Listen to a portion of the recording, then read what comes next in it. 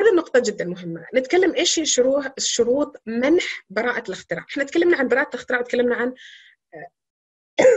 عذرا عن عن نموذج منفعة. آه، الشروط الأساسية هي ثلاثة، الجدة الجدة بما هنا نقصد فيه إنه يكون الموضوع جدا جديد. جديد يعني في خطوة جديدة حدثت في الابتكار هذا. آه، النقطة الثانية اللي هي الخطوة الإبداعية وهذه نقطة جدا مهمة الخطوة الإبداعية لازم يكون الموضوع شيء إبداعي مش آه، آه، شيء عادي. بمعنى لو نتكلم عن العجلات الإطارات السيارة. سابقا إطارات السيارة كانت من خشب اللي هي كانت في العربات عبارة عن الخشب. بعدين بعد ذلك إيش الشيء الجديد اللي صار؟ الفكرة بشكل عام هو نقل وسيلة نقل يعني الدائرة هذه هي يعني الحركة الدائرية هذه تساعد على نقل مادة أو أي شيء من مكان إلى مكان آخر. إيش الجديد اللي صار لما صارت الإطارات؟ اللي هو التغيير كامل الخطوة الإبداعية فيه إنه أصبح متصل بمحرك آه، إلكتروني محرك هيدروليكي محرك هذا خطوة إبداعية جديدة. الجده في الموضوع ان أنا ما ما صرت ما أنا غيرت أنا ما لسه أستخدم آه، إطارات خشب. فهناك شيء جديد اللي هو الإطارات البلاستيك أو الإطارات المطاطية أو الحديد أو أي مكان السؤال هل هو قابل للتطبيق الصناعي؟ نعم قابل للتطبيق الصناعي فلذلك هل هو هذا آه يعني آه في براءة اختراع؟ نعم الإطارات فيها براءة اختراع، طب السؤال اللي يسأل نفسه طب إحنا آه يعني ليش ليش ليش الأمور تسقط في الحق العام؟ لو لو ما لو لو ظلت الملكية الفكرية تورث من جيل إلى جيل أو أن يعني تسقط تماما تماما أن تؤخذ تماما بوفاة صاحب الملكية آه، لكم أن تتخيلوا إنه ما راح يكون عندنا سيارات ابدا لأن اللي اللي ابتكر السيارة أول مرة وخذ براءه اختراع كان بيكون 20 سنة إيش يسوي هو؟ كان عنده الوحيد هو اللي يصنع السيارة فعمل ملايين والملايين 20 سنة بعد ال 20 سنة سقط في الحق العام، لكن إذا هو شاطر إيش يسوي؟ قبل ما يسقط في الحق العام إيش يسوي؟ يعطي تراخيص لشركات يعني قول في سنة 19 سنة خمسة شهور يبدأ يعطي تراخيص لشركات لإنتاج سيارات. وهذه الشركات راح تنتج السيارات وهو يكون عنده نسبة وهو جالس مكانه. فالحين كثير من الناس في مكاتب متخصصة وهذا شيء جدا مخيف حقيقة. في شركات متخصصة تتربص ببراءات الاختراع. إيش تسوي؟ أنا منال سجلت براءة اختراع لكن أنا ما عندي قدرة إني أنتج.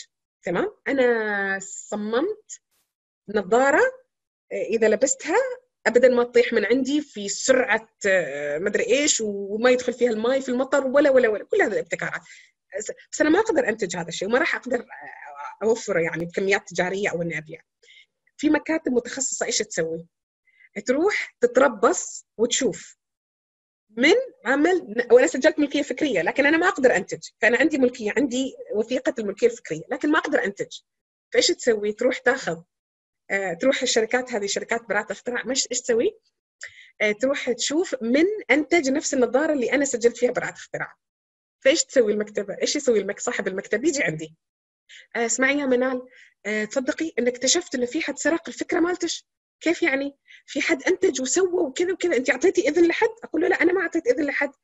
فيقول لي خلينا نروح نرافعه في المحكمة وتصير في محاكم متخصصة للملكيه الفكرية ليش؟ لأن الناس تحصل منها فلوس فأنا إيش أسوي منال؟ أروح أحاكمه لأنه هو انتج من غير إذني بعلما بأنه هو شاف إني أنا عندي أو حتى ما شاف. حتى لو ما شاف أنا عندي حق يحق لي إن أنا عندي ملكية فكرية. إيش يصير الحين؟ صار مصدر دخل حالي. أروح عنده أقول اسمعني. يا بين المحاكم يا تنتجوا حالي نسبة. فإيش يسوي هو؟ يعطيني نسبة وأنا جالسة في البيت. وطبعا المحامي هذاك أخذ نسبته وراح وتوكل. ففي ناس كثير حقيقه تستغل هذا براءات الاختراع خاصة براءات الاختراع الغير مستغلة. يعني الواحد عادة بيسجل براءة اختراع عادة أحيانا الواحد يسجل براءة اختراع هي مكلفة. هي مكلفة إنك أنت تسجل وما تنتج لأنك أنت كل سنة لازم تجدد عشان تبقى لك وإذا ما جددتها تسقط الحق العام. ففي كل.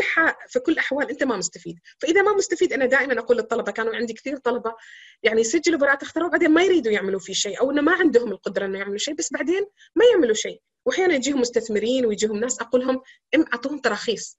أعطوه ترخيص حتى لو عندك نسبة 1% ما هي أحسن لك ما أنت قاعد تدفع حل تجديد البراءه الاختراع وأنت ما قاعد تسوي شيء. ما قادر تنتج. فلذلك دائما أقول جدا مهم هذا النقطة. طب آه، أرجع الحين للموضوع هذا اللي هي شروط منح البراءه الاختراع، تكلمنا عن الجدة والخطوة الإبداعية وقبل التطبيق الصناعي. سؤال إذا فقدت أي من هذه الشروط أي شرط من هذه الشروط وخاصة خاصة الشرطين الأولانيين إذا فقدت أي منهما يتحول موضوع من براءة اختراع إلى نموذج منفعة تمام؟ أنا أحتاج أغير المكان. زين يتغير من يتح... يتحول الموضوع من براءة اختراع إلى نموذج منفعة. إيش المقصود بهذا؟ آه مثلا أنا ابتكرت آه ابتكرت آه نرجع موضوع الإطارات. الإطار الأول كان خشبي و... وعملت ابتكار وحصلت فيه براءة اختراع لما عملته بلاستيك. طب أنا عملته بلاستيك مطاط عذرا عذرا مطاط. تمام؟ وعملت المطاط اللي هو اللي الحين موجودة في إطارات السيارات. ولكن اليوم استخدمت آه، أنا شخص ثاني. جيت أبتكر واكتشفت إنه الإطار اللي مستخدم في النوع من أنواع المطاط المستخدم في يعني اللدائن أي نوع من أنواع اللدائن أحسن من المطاط اللي مستخدم الحين في السيارة. لكن نفس المواصفات وكل شيء إنه آه، راح يمتص الصدمات أكثر. يمتص صدمات في حالة إنه في السياره أو في في في أماكن وعرة. فالسؤال اللي يطرح نفسه هنا هل هذا ابتكار جديد؟ هل يستحق إنه يسجل كبراءة اختراع؟ لا، هنا يسقط الحق حق كنموذج منفعة سوري يسجل كنموذج منفعة، ليش؟ لأنه فقد الجدة الخطوة الإبداعية أيوه لأنه هو راح يمتص الصدمات في الأماكن الوعرة و و هل قابل للتطبيق الصناعي؟ أكيد طابق قابل للتطبيق الصناعي، ولكن هل هناك جدة في الموضوع؟ لا، هو ما شيء جديد، إطارات موجودة، استخدمت هذا ولا هذا ما هذا كمان يمشي يعني. تمام؟ فهنا يتحول الموضوع إلى آه، نموذج منفعة. وذكرت نقطة جدا مهمة جدا مهمة في حالة عدم الحصول على ترخيص من صاحب الملكية الفكرية. يسقط النموذج المنفعه يسقط أو يحتكم في النموذج المنفعة بحقوقه بالمحدودية الجغرافية أو محدودة محدودية جغرافية البلد. بمعنى في عمان نموذج المنفعة آه، في حالة إن نموذج منفعة ما ممكن ما ممكن أعمل أعمله تصنيع خارجي. إذا أنا سويت نفس ابتكار حد آخر موجود في بلد ثاني.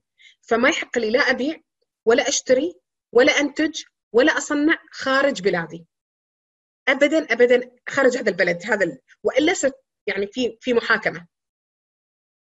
أتمنى هذه النقطة جدا واضحة يعني إن هي تخضع لقانون البلد أكثر من أي شيء ثاني.